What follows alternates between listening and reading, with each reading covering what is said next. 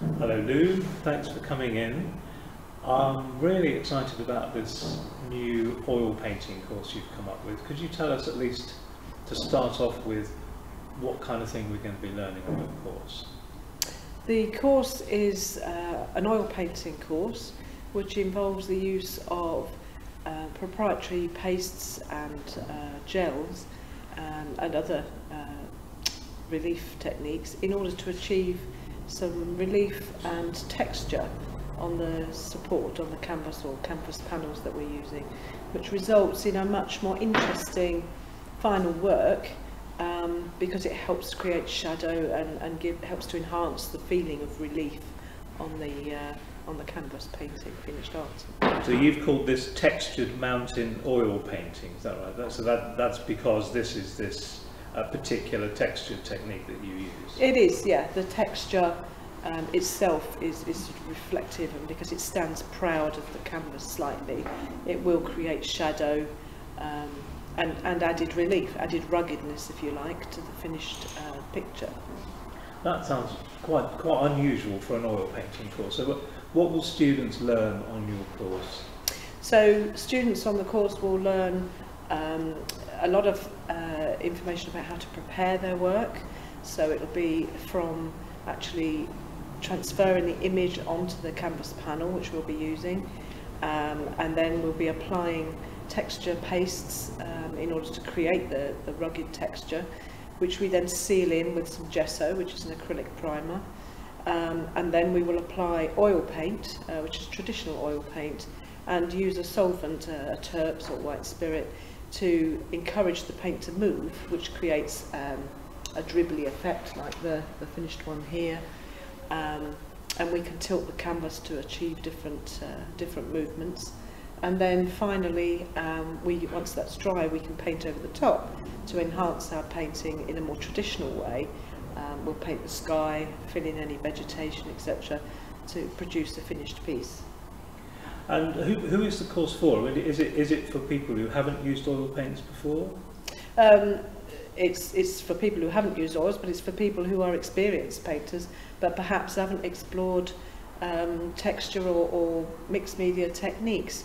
So anyone who's only used traditional painting techniques before, who wants to have a, a dabble at um, applying some uh, texture to their pieces, could could come along. But equally, somebody who's never tried oils before um, could come along. It Doesn't need an experienced painter in order to, uh, to take part.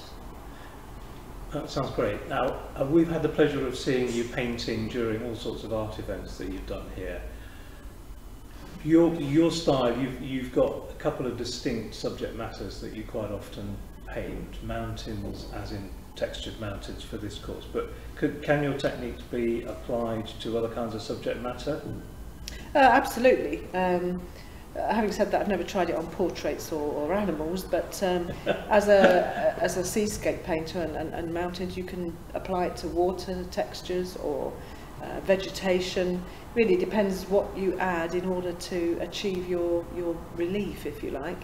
Um, but there's no reason why you couldn't use it to, to paint fields of corn or ripples on water. Um, it depends how imaginative you want to be.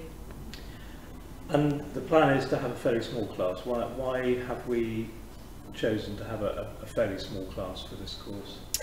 It's a fairly intense course um, and it will require people to um, to concentrate and to have their um, their materials uh, around them. You'll be using a scalpel, for instance, to cut um, masking tape around uh, the horizon lines you'll be using um, solvents, um, terps or white spirit.